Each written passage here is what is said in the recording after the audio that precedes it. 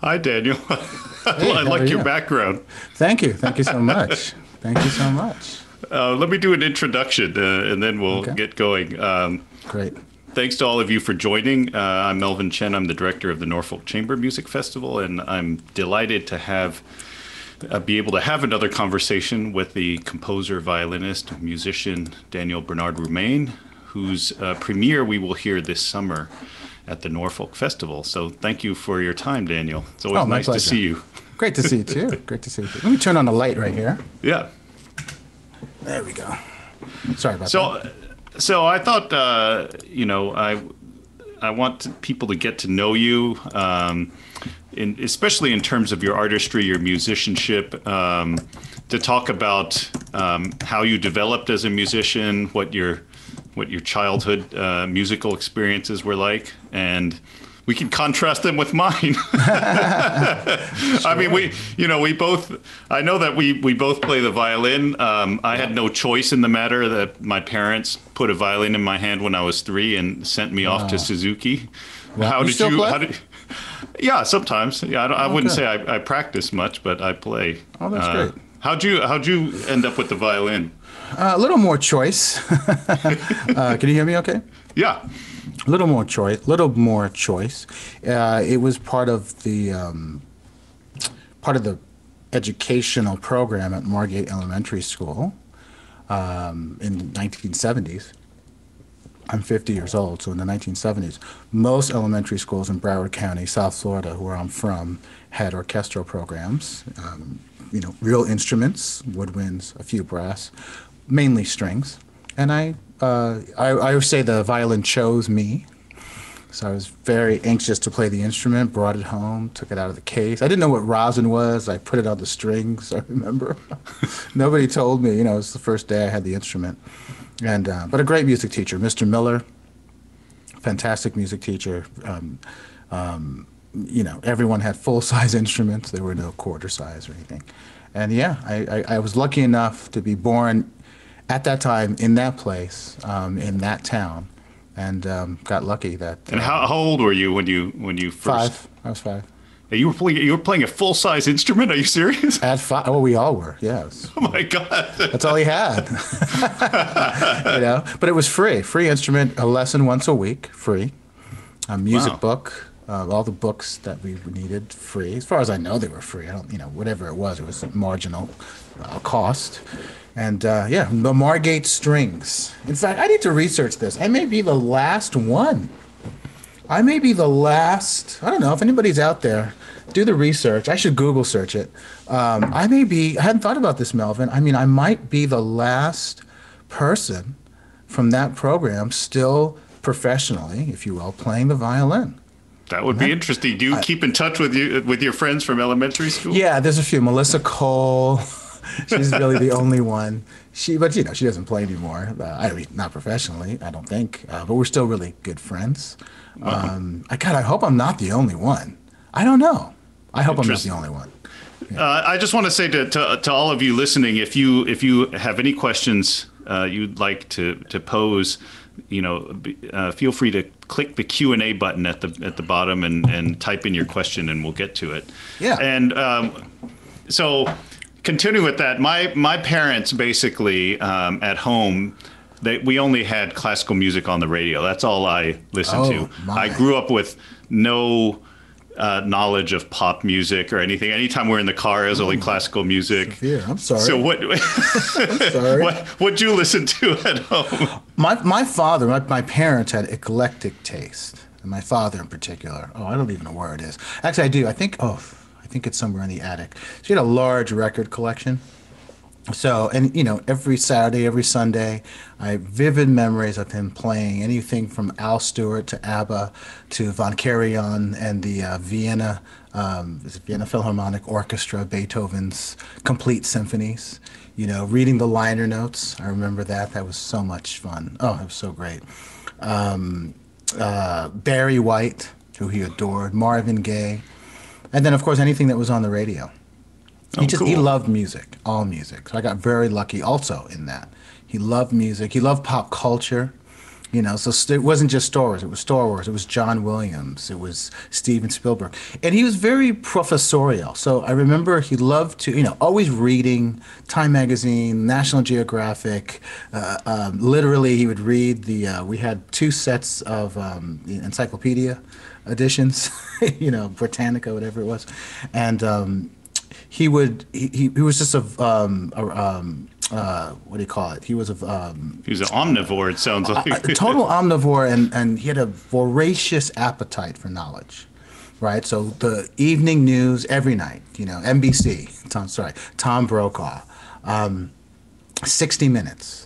Um, you know, it, it's funny. He, he wasn't he wasn't living and he didn't live long enough to kind of see what's you know going on. CNN, of course, he was able to to, to dig into that and all this. But he just had a constant curiosity and constantly in conversation uh, with those magazines and periodicals and with me. You know, more than my sisters. I had two sisters. You know, we would talk about Von Karajan and, you know, Beethoven's Fifth Symphony and this recording and what was happening at NASA at the time. And yeah, he was he was wonderful that way. Really, Cool. just brilliant. and if there were, eh, you know, and and if there was stuff that you chose to listen to, what would that be? Well, when I started making my own decisions, yeah, I was a teenager.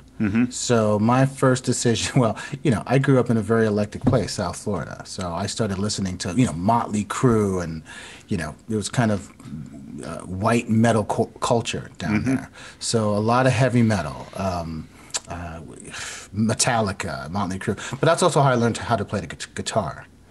And then, of course, I discovered Prince. Actually, it was one of my older sister's friends first came over with 1999, the, the record, and opened it up. And so provocative, so strange. So, you know, here's this man, woman, you know, just the picture. But then we played the record, and, you know, just incredible. Because to me, it was up until that point, you know, my father, a few friends, some Haitian music, you know, but you know, there was all these different musics happening, and then when I heard Prince for the first time, all of it made sense to me because I could, I immediately could tell what he was doing, in terms of black music, white music, rock music, funk music, uh, even classical. It, it, I was like, oh, I recognized all of it, really because of my father, and my father did as well. Oh, cool. Yeah. And so, so you, after elementary school, how did the kind of your progression on the violin? What did that look like? it went pretty quick. I mean, I was, I was, you know, I had a certain talent for it, but I was playing a lot of instruments and still do, you know. But uh, I loved it, had a talent for it. I was in orchestras, I was in string quartets, but I was also in funk bands and rock bands and doing things with DJs and all sorts of crazy stuff like that. Interesting things like that, I should say. And then um, I just kept doing it, kept it separate though.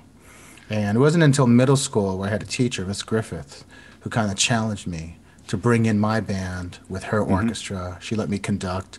Then she let me actually write pieces for the two ensembles. Wrote a song for both ensembles, which was great. So I, again, I had a series of really wonderful teachers. Also, a series of really bad teachers. I remember their names too.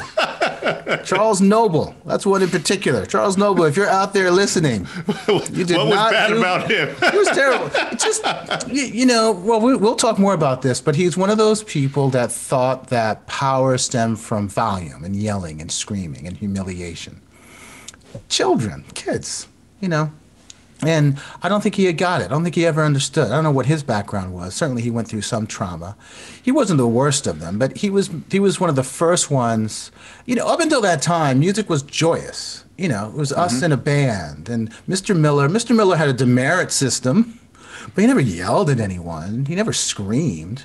The one time he raised his voice, I don't even remember. I, I'm sure it was, it was so unusual, such an outlier in his usual behavior. But not Mr. Noble. He was different. He he he he relished even, I would say, in you know he, he saw humiliation and dis and and and um, you know kind of um, raising his voice to a room full of people in his charge as something.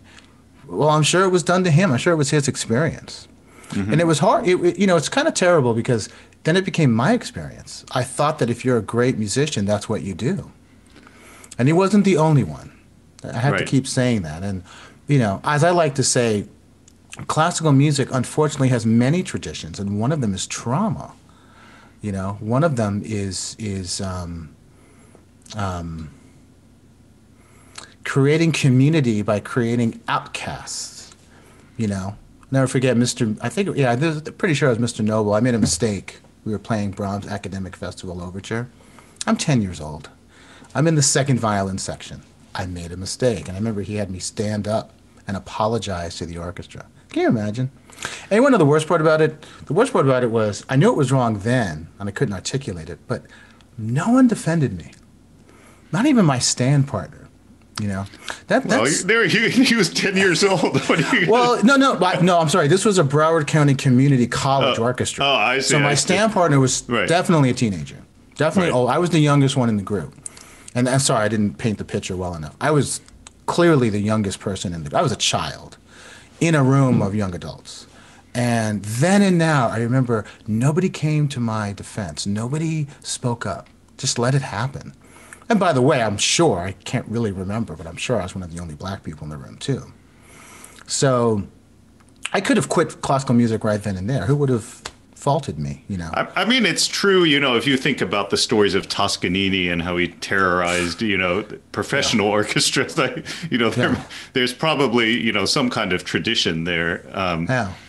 But in, in terms of your, you know, I mean, you had clearly a very eclectic taste. How did you think about like, you know, did you think you had to choose one eventually, or did you think were you trying to do them all pretty equally as as time went on?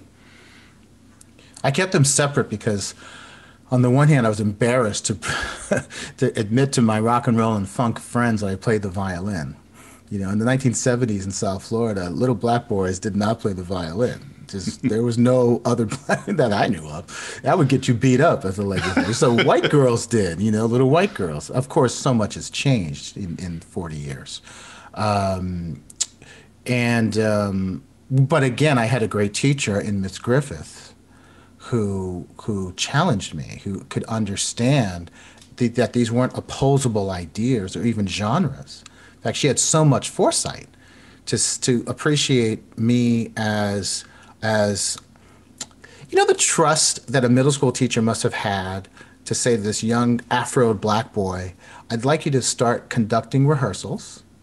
I'm not going to go over here and drink coffee and read a newspaper, but I'm going to stand right next to you and help you and be fully engaged. But you're going to lead.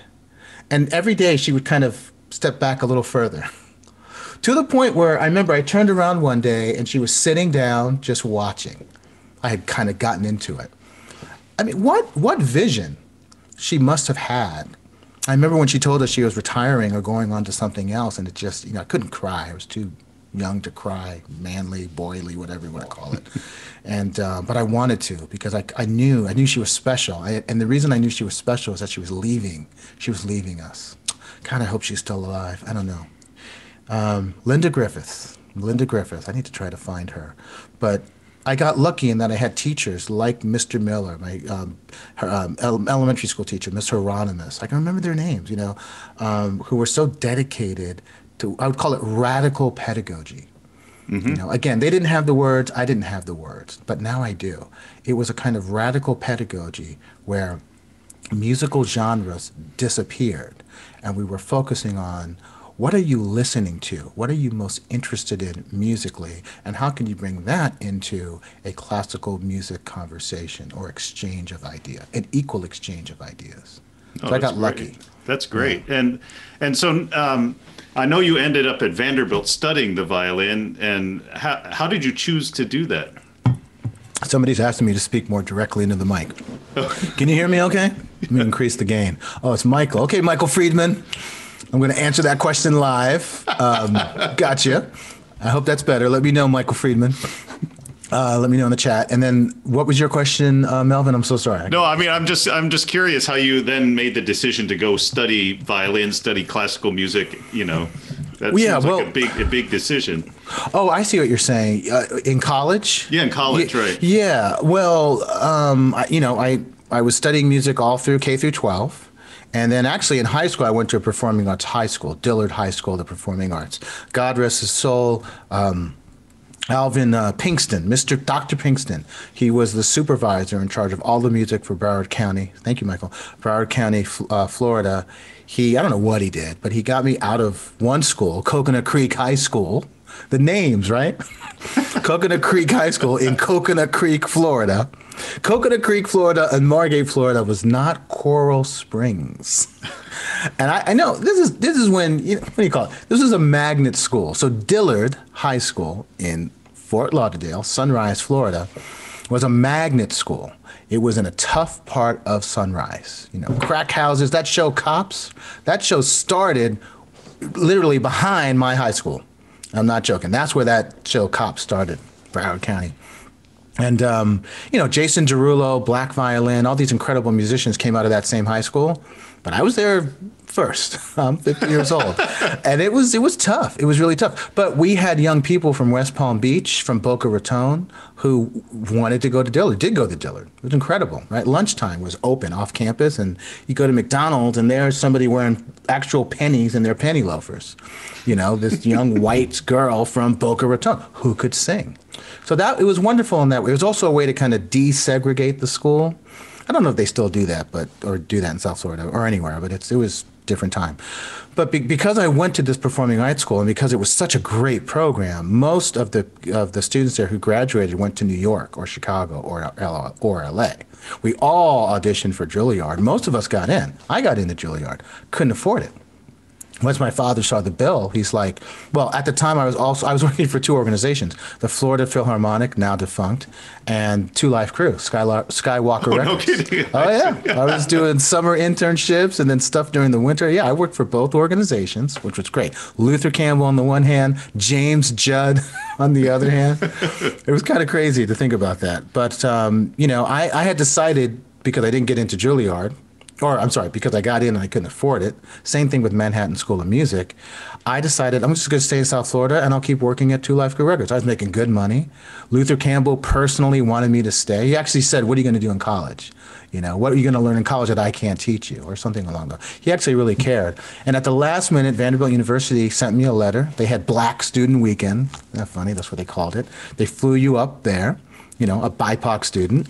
Uh, you stayed with another student for the weekend. They paid for everything. You went to classes, so on. You got a taste of the school. I went. I liked it. I came back, and my father kept pushing it.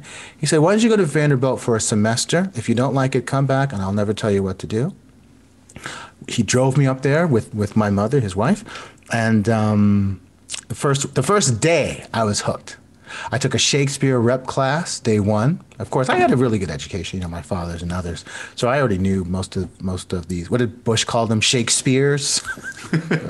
you know, I think the first class was Othello, which was incredible, Othello. And um, uh, I know the opera. I knew the play, of course, uh, Verdi's opera, and of course the play.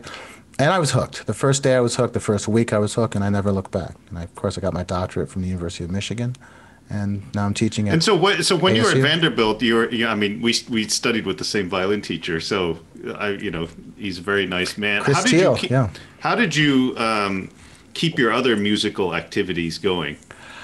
Well, when I got to Nashville, you know, that was that was a little bit of a culture shock. It's much more diverse now, but it was it was different. I, I, I was playing with some bands in town, Mystic Meditations, I think they were called. Excuse me, this new music group or world music group and yes, we had the same teacher, Chris Teal. Chris Teal retired, I think, right? Yeah, he lives in Boston now, by the way. Does he really? yeah, yeah, he lives in Cambridge.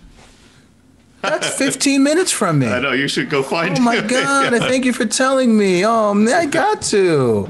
Is, is he still married to that one woman, or? No, he's married to somebody who teaches at the Harvard Education School. So that's Okay, why great. They, Okay. Anyway, you should look him up. I I'll will give you- look him up. I'll send you your, your, his email. Please do. He was, yeah, he was. You know, we played a couple duets together at one point when they brought me back as a visiting professor.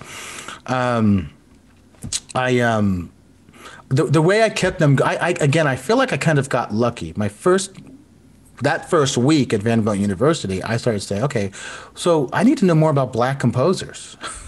So I went to the music library and just kind of started looking them. I discovered the Center for Black Music Research. And then I would say, wow, okay, I really want to understand Prince, not just the records, but the man and his career. So I started systematically studying the total careers, the lives of the musicians that I most admired. And really, a lot of time in the library, really trying to understand Brahms from the, you know, from birth, you know, the difficulties in his household, you know, playing in these very, you know, he played a lot. You talking about me, 15 years old, he's in brothels, not 20, 15, you know, he's helping the family by the time he's 12, 13 years old, you know, along with his bass playing father. His father, incredible bass player. Prince, same thing. Prince at 12 years old, can you imagine his father basically throws him out of the house? Hmm. He spends a couple nights on the streets of Minneapolis. At one point, he calls his father from a payphone. Can I come home? Father's like, no. That led to Paisley Park, by the way. That's a whole other story. Wow. you know, yeah. I mean, Prince, I mean, well, suffice to say, the musicians I most admired seemed to have this incredible, these incredible stories of, of real um, desperation, poverty, um, real um, difficulty, um, tough households, you know, and I don't know, that fueled something. And um, just going back to your question, I think at Vanderbilt, well, uh, that always that made a big impression on me. I, I felt like at Vanderbilt I had an opportunity to study at the Blair School of Music, which was very young, mm-hmm. and I could maneuver that to do things at Belmont, which was a little more progressive and you know popular music program. Yep, do yep. things at Fisk, do things on Music Row, you know that whole. Well, you, you were system. writing during this time, right? I was always writing, yeah, uh-huh. but I was also writing. I mean, mystic meditations. These were guys with before I ever had dreadlocks. I used to have dreadlocks or twists. These guys had long dreadlocks, and I, they were on my senior recital, playing djembe drums alongside a chamber orchestra. So yeah, I, I kept things separate by bringing these things together, by bringing musicians together, even in Nashville, even at Vanderbilt. Oh, that's good. I mean that's amazing. Yeah. I I have to say I mean, you know, I, I have a question because I, I want to contrast it to kind of the way I feel like I, I grew up, which is in terms of um, at what age were you aware of kind of your your ethnic and racial identity, and you know was that a conscious part of your thinking, you know, all throughout when you were growing up? Well, I think I think every BIPOC person, I think certainly every black person, there's a moment of racial consciousness. I can remember not thinking about, not even knowing I was black. And then one day, I'm, I think my parents said, "Hey, you know, five years old, why don't you go to the end of the block by yourself and come back?" You know, one of these moments of trust. It's a different time. This is in this is in um, Chicago. No, no, no. This was in five years old. Yeah, it must have been Chicago. thought about this. It must have been Chicago. And I get to the end of the block, and I'm coming back, and there's a man in a pickup truck. Now, if I could still see him very so clearly, and he um he had rolled his window down, and he turned to me with a smile. He said, "Hey, little N boy. Hey, little N-word boy." And then he rolled his window up. And he kept driving, and it was so. It was so ominous and strange at first comforting because I didn't know I didn't know what that word was. Mm-hmm. I knew it must not have been a good thing. And um, his face, the sneer. It's kind of amazing how he has, you know, you know. I can still see his face. He may still be alive. He may have children. For whatever reason, he felt that he needed to say that to me. And I don't know if I want to thank him. All I can say is, by thank him, I mean that was my racial awakening. And when I told my parents what happened, of course, my father's first reaction was to go find him. And that's when I knew, oh, that word. Okay, so that's a word that, hmm. Later on, my father, my mother, both of them, my parents explained it to me. Um, but um, I think every black person, every every BIPOC person has that kind of um, how would you say? Moment? Tra- tragic epiphany? Uh-huh. tragic yeah. Moment? Yeah that that kind of moment. That ominous moment. That unfortunate that tragic moment where you are made aware of your minority status at least in this country. I mean it's i, I would it's very interesting to me because um, for myself, like you look back, at least for me, I look back on my childhood, right? And then you notice things at the you and you know at the time when you're a kid, you have no idea that they're weird or incongruous or something or yeah you know even notice the situation like you know this is a you know have you been uh, in Nashville to the Parthenon Yeah. Oh, yeah. Several times. you know so like I grew up in you know with the Parthenon it's like that's no big deal and then you look back on it, it's like what the hell is the Parthenon doing Somebody really loved. you, you, you know, like you, if you Well, it's a look back on it, it's like that's pretty weird, right? and you know, I have Nashville. to, Well, yeah.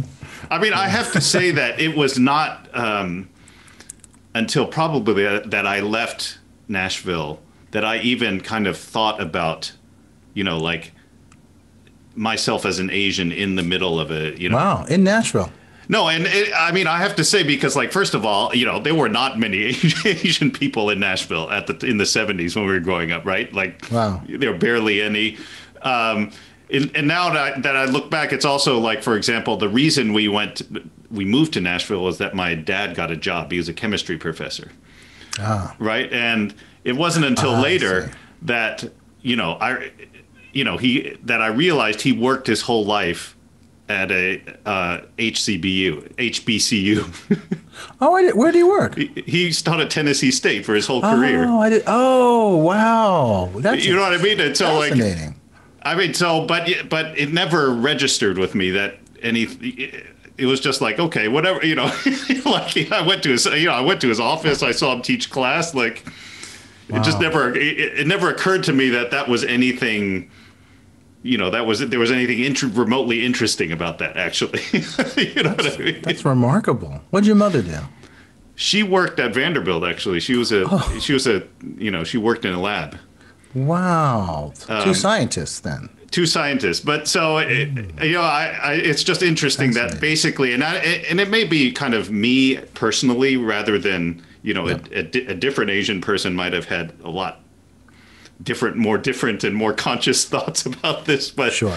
but i just you know i just it's funny that i look back on it sometimes and i was like wow that's kind of weird you know like, that, was, Yeah. that was kind of interesting Well, that's fascinating. Um, wow. I am noticing, uh, Melvin, we have some uh, questions. oh yeah do you do you want to do you want to you want to get to them Sure. Let's see. Okay, I satisfied Michael Friedman. Thank you, sir. And, uh, let's see. Martine, beautiful name. How important do you feel your creative music making experiences were to your overall musical life? Well, you know, there's South Florida then and now was very diverse. You know, we had actual garages and actual garage bands. Everybody kind of played what was on the radio, but we also played what our parents were listening to. So, you know, I had some Cuban friends, or for, their parents were from Cuba, so we were learning Afro-Cuban music. you know, uh, I don't know, Celia Cruz, Tito. Well, that's more Puerto Rican, but um, you know, we were we were we were learning the things that our parents were listening to and the things that were in the air. You know, my parents were, were from Haiti. Um, everyone from you know Emeline Michel to gosh, all these artists that I just can't remember their names anymore. So forgive me. Um, and I think so. I mean, I think that um, specifically, I started composing when I was 10, and I kind of was always a band leader. Um, so, how do I feel my creative music making experience to my overall musical life? Yeah, I, I think I'm a, I'm a much better, well, in some ways, I'm still doing the same things. I mean, I'm still working with DJs, I'm still working with spoken word artists, I'm still working with dancers and choreographers and filmmakers. And that's the environment I grew up in. You know, uh, there was a there was a group of us that if this if the teacher gave a kind of banal assignment, you know, tell us something about slavery. I mean, really, we would get together and create a film. You know, I cast my father in the role of a slave owner. I mean, it was really kind of strange. Hard. It, it- let me not do that to him. Uh, very, you know, we switched everybody's roles around. That's what I'm getting at. But the fact is, we we were making little films and then scoring them. You know, VH, VH, VHS tape, and then figuring it out. You know, putting it together. So we were hyper creative, and we had parents and teachers who supported that. So it was very important. It went well beyond classical music. And I'll tell you one thing: when I got to Vanderbilt University, here's a story, uh, Melvin. Joe B. Wyatt was the uh, uh, uh, provost. No, not the provost. The chancellor. I Chancellor, don't know yeah, if, right. if you remember this. Um, Joe B. Wyatt was the chancellor, and I wrote a piece. Well, the Vanderbilt Symphony Orchestra, or Vanderbilt University Orchestra, I can't remember. Um, they had a new conductor come in, John uh, Russell Morris, I think. He's doing really well, by the way. He's a great pops conductor or something like that. Anyways, he said, hey, let's commission you. I said, great. He said, when do you want to write? I said, I don't know. So I took a couple days and I said, you know what I'm going to do? I'm going to write Haitian essay for orchestra. And I took um, uh, these Haitian folk tunes that my father would always sing. Uh, Merci bon Dieu. Um, Good merciful God, look what nature has brought to me, a fisherman's tune. I took two of these Haitian folk tunes and I did a kind of Bartokian exercise to them, right? And put them into this, uh, what, seven minute piece I call Haitian Essay for Orchestra. So here's the, here's the secret story, which I've never talked about publicly. Uh, I had to pay for every, well, I got a little bit of money from the orchestra, not much, but the deal was I had to kind of produce it. it was kind of an interesting commission. So I had to figure out how to do the score. This is an early version of Finale, the score and the parts. I had to figure out how to pay for it. I went to Joe B. Wyatt. I wrote him a letter. really? I wrote him a letter. I said, I need X amount. Can you help me? And I can't remember who gave me the idea. Somebody gave me the idea. And he called me, he, he sent me a letter back having me come to his office. I don't think there was email yet, even. I don't remember. I don't think so, because I don't have a, a I don't have a Vandy email address. I went to his office. We had lunch. At the end of the lunch, he gave me an envelope and he says, Look, this is for your composition. Just don't tell anyone it's from me. And I opened it up and it was like, you know, a pretty big size check and to get the piece produced. But here's where it gets even crazier. It wasn't enough. Because the person I had copy the piece, I think he took advantage of me, asked for more. I didn't have it. So I went back to him. Can you imagine? And he called me for lunch again. And this time, this time his wife is there. And they both, we had this lunch at the very end. She hands me envelope. She says, Take this. We want this to be successful. Let us know when the piece premieres. Can you believe it?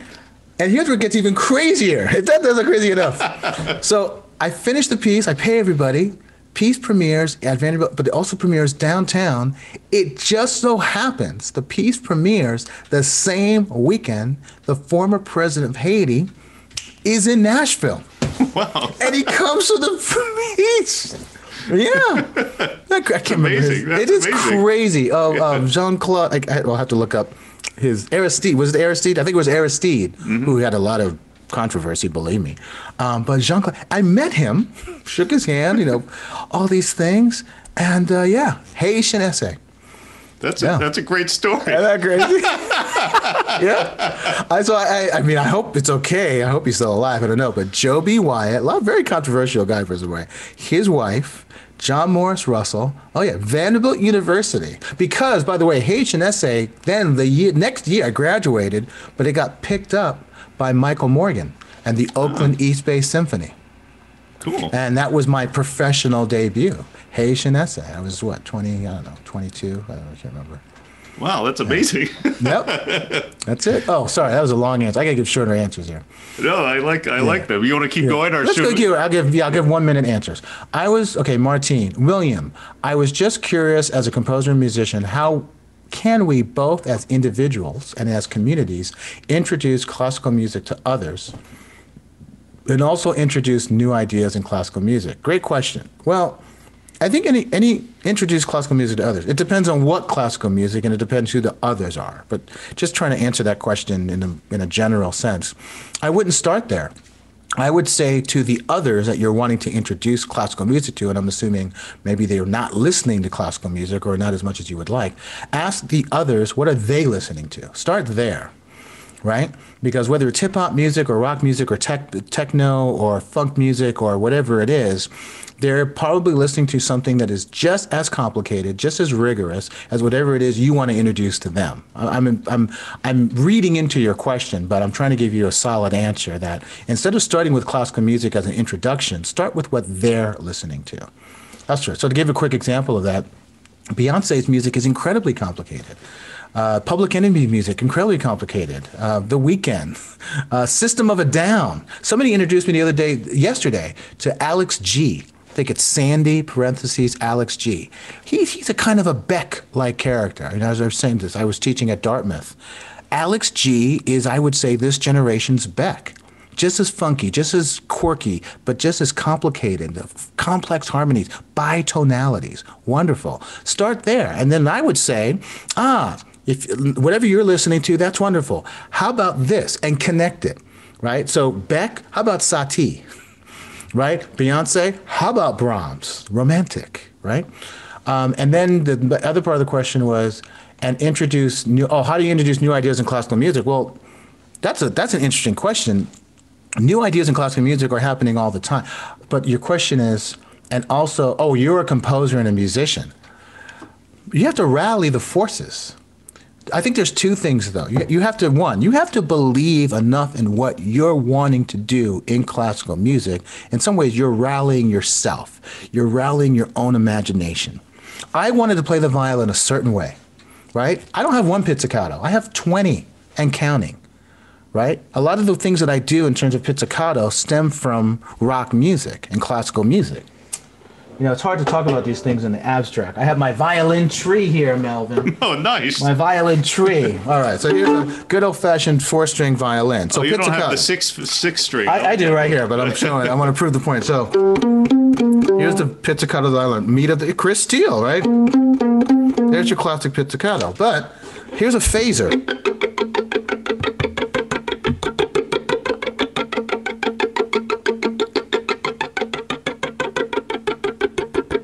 Can you hear that? That I don't know if you can hear it. Mm-hmm. Um, here's a sul ponticello pizzicato.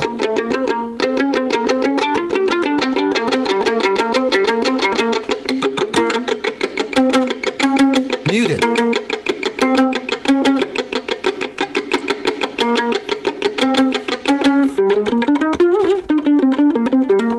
Pizzicato with a wild vibrato. Same thing with the nail.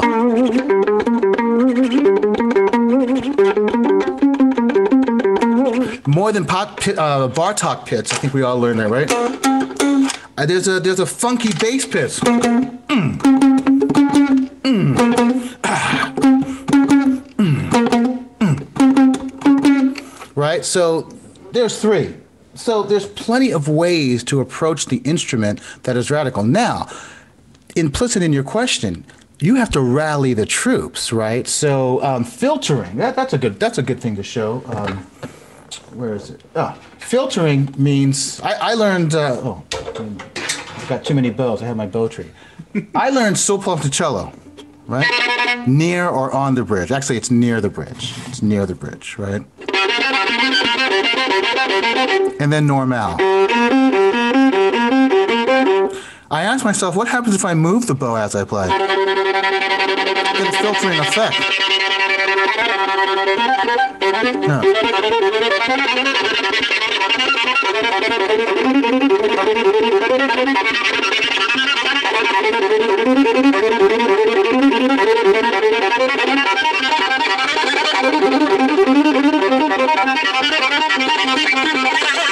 right? So nobody said to me, move the bow as you play. That was a way of me, I'm using this term now, rally your imagination. And then by rallying my, my imagination and starting to write these things down, I could start to rally other people. And that's how you can start to introduce new ideas in classical music. Really think seriously about what you feel is missing. What do you love most about music? Bring that into classical music. Rally your imagination, codify it, perfect it, notate it, give it to someone else. I've never heard a symphony orchestra filter, Melvin. never. I don't even know what that would sound like. Maybe you, you should write something. Exactly. so you know, so that's that's one way to do it, uh, William. That's one way to do it. Michael sounding good. Okay, Ian, how has how has the radical pedagogy that you benefited from influenced the way you teach, compose, and play today? Well, my ear was quickly liberated. You know, I, I never saw classical music I, I, I have never, and I don't see music scaffolded or in a hierarchical order. To me, it was circular. To me, it was a sea of music. and classical music was just part of the ocean. So I, maybe that's not radical, and things have changed. In you know, 2021, I think things are much more liberal and progressive in music generally than they were in 1971. But to to your question, I had teachers that yes were radical. I think Mr. Mello was radical, not that he told me to plug in, but he didn't tell me not to. You know, Miss Griffiths, as I explained, that was pretty radical, entrusting me to rehearse and perform with the orchestra and bring my band into it. And Mr. Noble, in his way, in his own way, was radical, and that he was so traditional that if there's one thing that I learned now, is that, as I say, tradition is nothing but an old innovation waiting patiently to be made new again. You know, we're at a time where artists are calling out presenters artists are saying, you will not treat me this way. And, and I'm taking your question, Ian, and just extending it a bit. As artists, as music students, Yale has a tradition. Arizona State University, where I teach, has a tradition. USC, Dartmouth, where I just taught today as well, has traditions. DePaul, I just spoke at DePaul this morning, has traditions. A lot of those traditions overlap. And one of them is the subjugating and the oppression of the original idea. Right? Let me give an example of how radical pedagogy can happen right now. Replace the word rehearsal with something else. Everybody at these schools, ASU, Yale, you know what they They all go to orchestral rehearsals. Replace that word with something else. A jam, a communion, a conversation, a discussion, an improvisation um, a war, a resolution, a, uh, an orchestral consideration, a prayer. A pr- wow, right? Because the minute you change the word, then you can change the idea. Everything changes, actually, right? Uh, orchestral conversation implies that the musicians will come into the room and actually talk. Do you know how many orchestras I've played in and I could not tell you the name of the person right next to me? I think that's a problem, right? So I think what I'm saying right now, Ian, is the, I'm the way that I am, and I think I, I benefited from radical pedagogy. Because I would say to you, Ian, why do you do the things that you do? Whose tradition is that? Who said that you have to play the violin this way and you have to participate in an orchestra this way? What if, an, what if an orchestral, what if a student orchest- orchestra got together one day and just said, no, stop. We would like to do this. What if an orchestral or if a student orchestra got together online for an hour without the conductor online and just had a conversation about what you wear, what you play, right? What would what would the conversation actually be?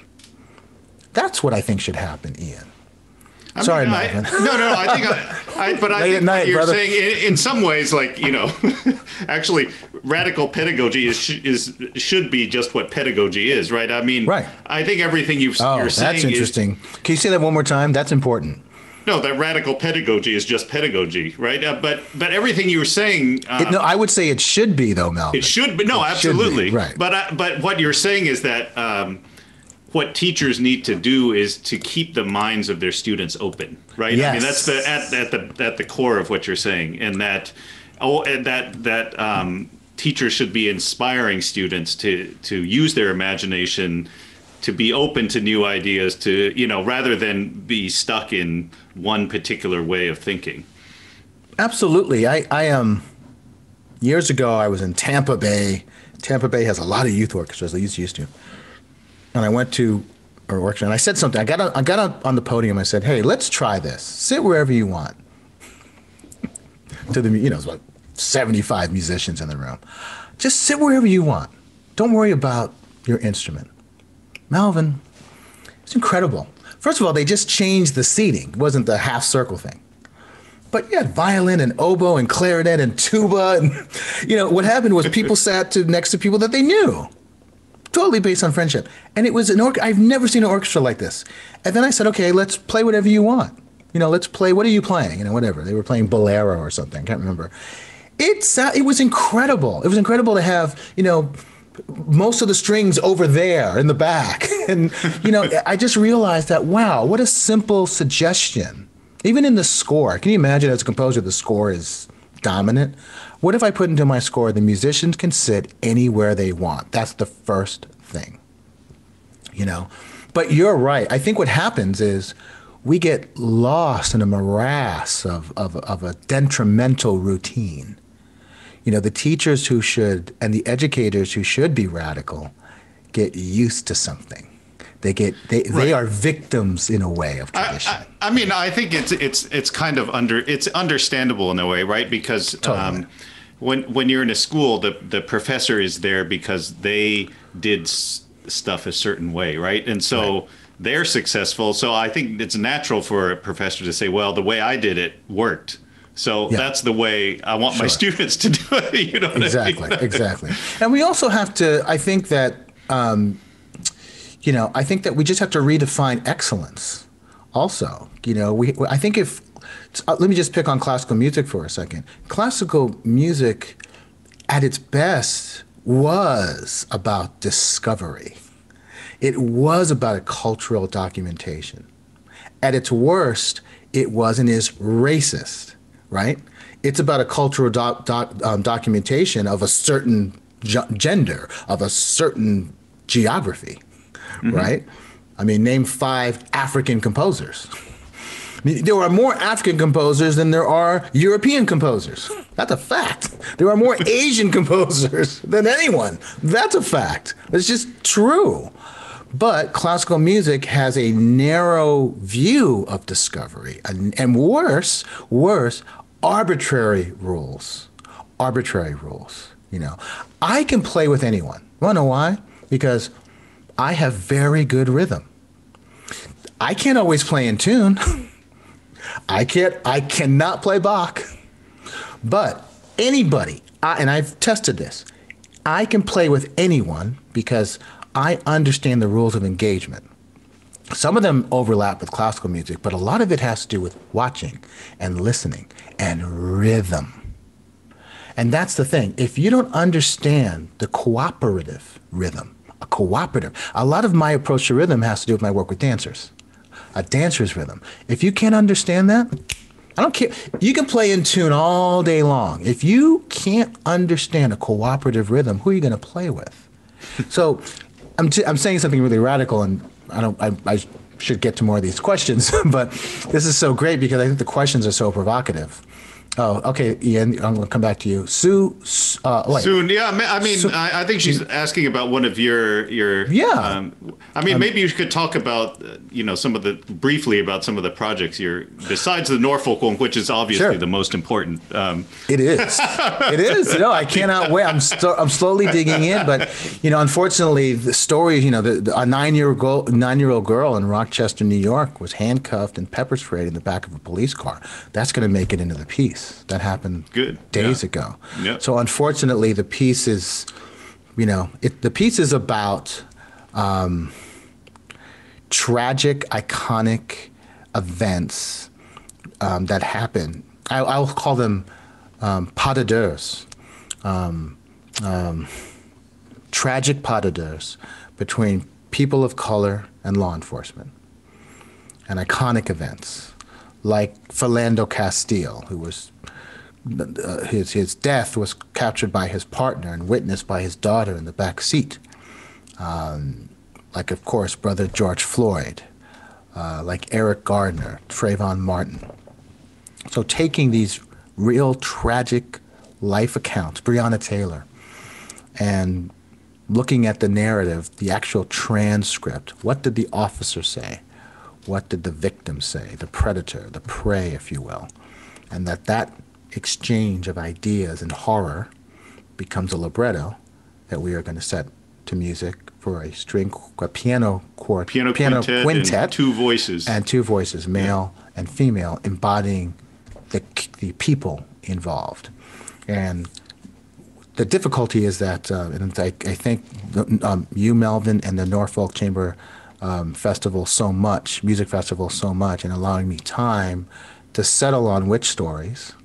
That's the hardest part. for me, settling on which stories, because as you know, the hardest part for me because once we settle on the stories, the music is there. You know, that nine-year-old girl. Uh, I was trying not to do it. I was trying not to do it. Let's see. Hold on. Let me. Oh, I could. Everything's right here. Ah, everything's right here. I'm work. Well, what I'm working on right now is a piece for Apple. Believe it or not, um, it's a play called.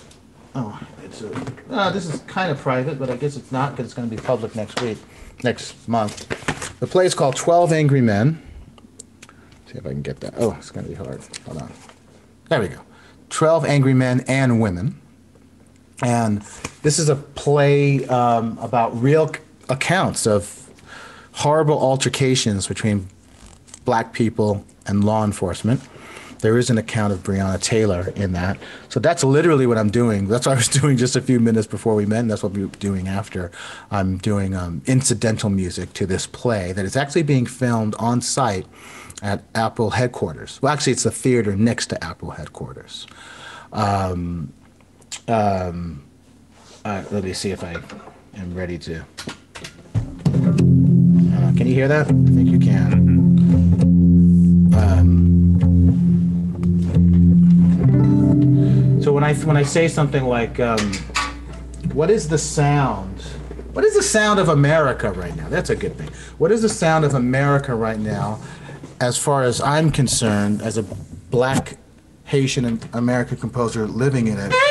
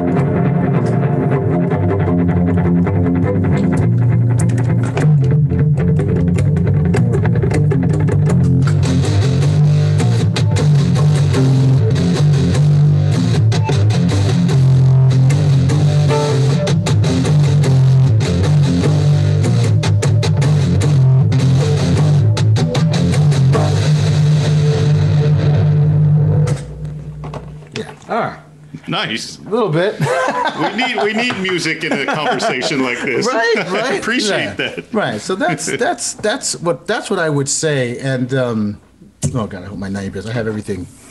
Part of I have everything mic'd, so that's actually an amp in the room. Okay, I'm reading about Cipher, which is described as a pocket opera for Philadelphia Boys Choir. Could DBR share a bit about this forthcoming work, the genre, the inspiration, why this group of young people?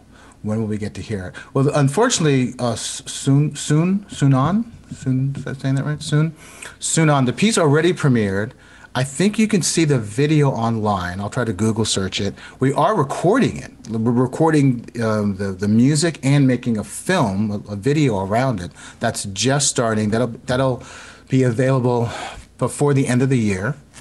Um, but I can, and there's another iteration of the piece. Um, Arizona State University's chorus and orchestra did an excerpted, little truncated version of the piece with the great Marc Bamuthi Joseph, who did the libretto, as the uh, spoken word artist. And of course, Marc will be involved in this piece too, and helping put the libretto together. Um, so I think you can hear it tonight. I'll see if I can find it. I, I think it's online, or bits of it are online. Um, Cypher uh, I can say in 30 seconds, my que- cipher started with a question. two boys are born in Philadelphia. One ends up in the prestigious Philadelphia Boys Choir. One ends up in juvenile detention. Why? So I got 12 boys from a juvenile detention facility in Philadelphia and 12 boys from the choir to have lunch and have a conversation. That conversation became the libretto that Marc then added his own poetry to. And that became the piece. And, you know, it's funny. Well, let me not go there politically. Philadelphia, if you know what I'm talking about, you know what I'm talking about. But um, Philadelphia has been in the news because of this uh, impeachment trial. But I, I, wrote the piece because I was working and I, I continue to work with Opera Philadelphia. Philadelphia has its own problems and poetry and majesty. It does. Um, um, I did an opera called We Shall Not Be Moved that was based on the Move organization in Philadelphia. But I also felt, you know, I had an opportunity. Any commission is an invitation and a choice. And I chose to try to understand what happens to young boys in Philadelphia. Leave it at that. Okay, Mateen. I'm loving the instrumental approaches you're discussing. What's your experience been coaching young musicians and ensembles to rally their imaginations? Are there any institutions that have tried to make this approach a regular part of their pedagogy? No, but but I do teach. I do teach at Arizona State. no, you know, you want to know the soul of a university? Look at its curriculum. You want to know the soul of an orchestra or an opera company? Look at its programming.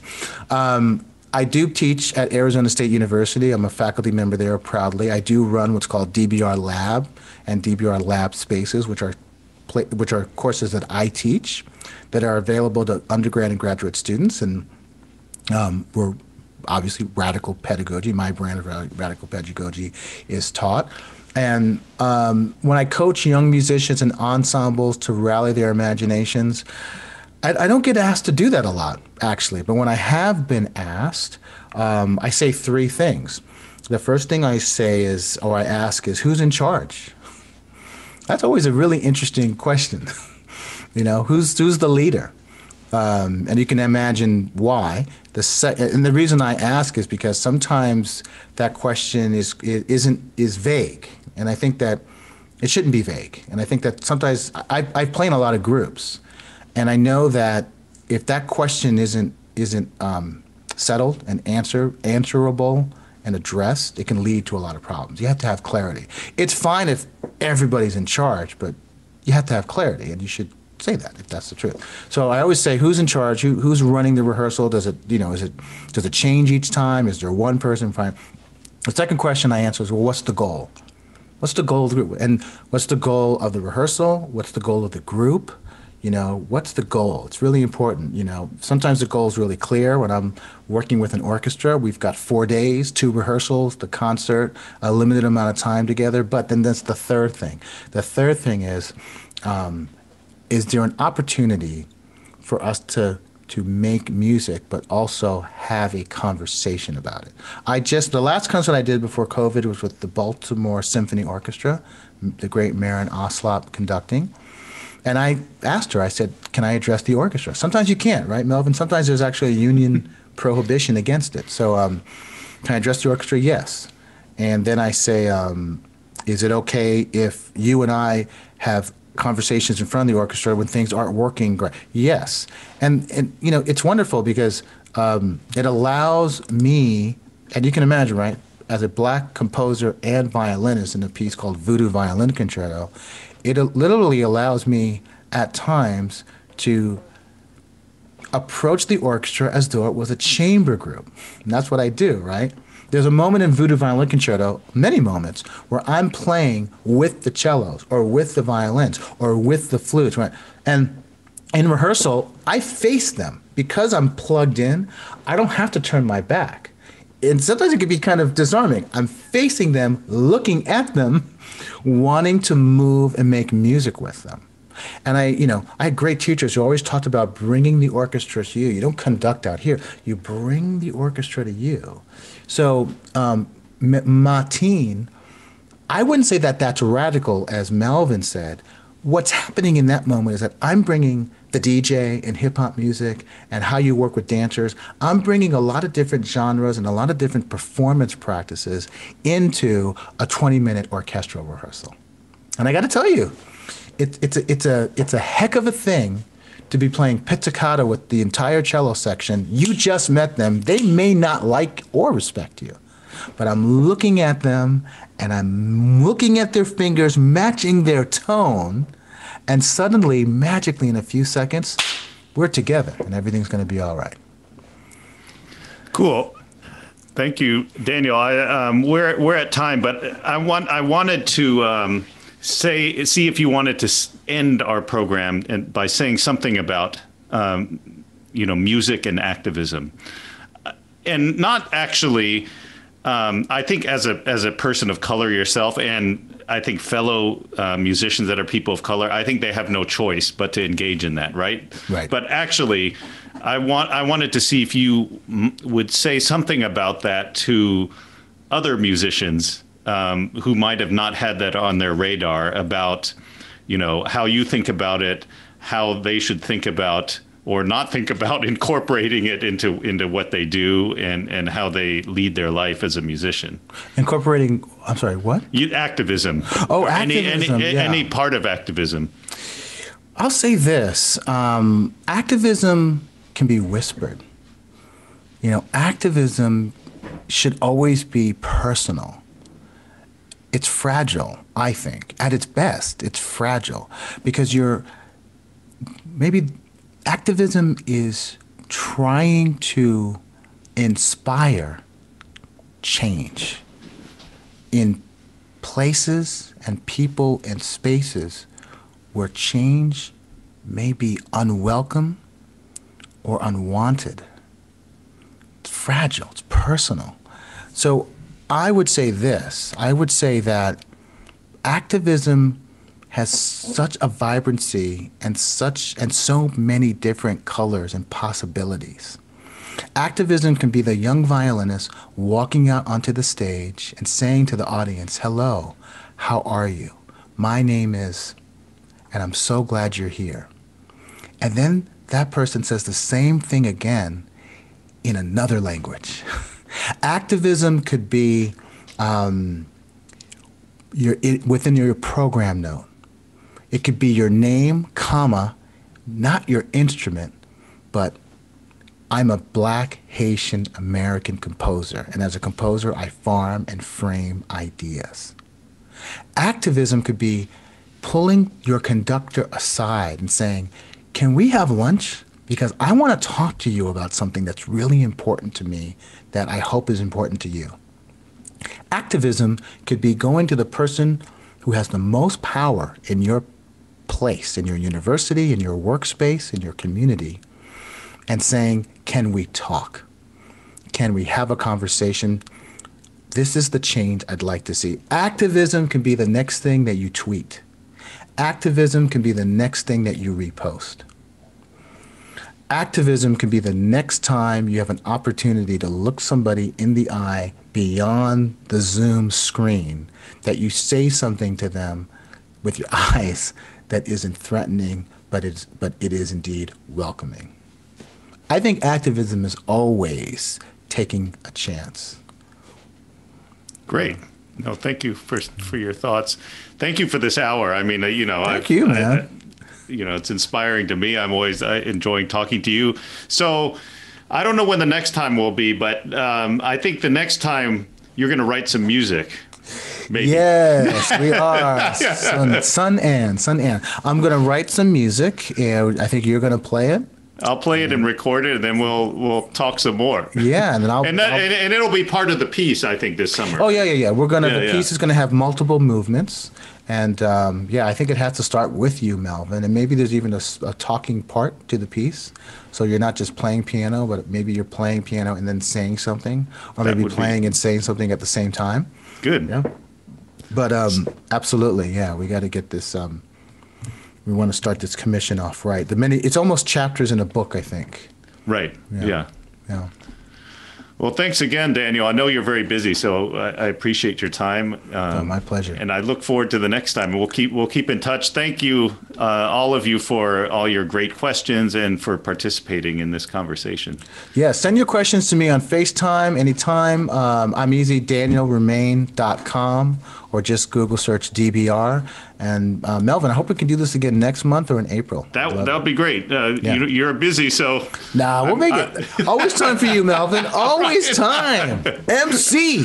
That's the greatest name. MC. DBR and MC. I just said MC's in the house, ladies and gentlemen. Thank you. Yale, MC, and Norfolk Chamber Music Festival. It is at NCMF. Hope I got That's that right. right. I hope I got that right. It's late.